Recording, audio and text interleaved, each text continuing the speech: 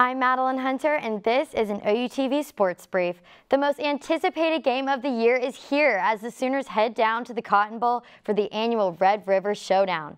Last year's game was a 53-45 overtime thriller, and Sooners entered the game undefeated while the Longhorns sit at 4 and 1.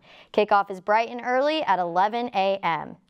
The OU men's golf team wrapped up the Colonial Collegiate Invitational this week. The top-ranked Sooners finished second at two under par, one stroke behind Stanford. Their skills will be put to the test as they compete in the Big 12 match play next week. 18 former NBA players have been charged in a $4 million health insurance scheme. Among these players are Glenn Big Baby Davis, former OSU Cowboy Tony Allen, and former Thunder player Sebastian Telfair. This was an OUTV Sports Brief. I'm Madeline Hunter.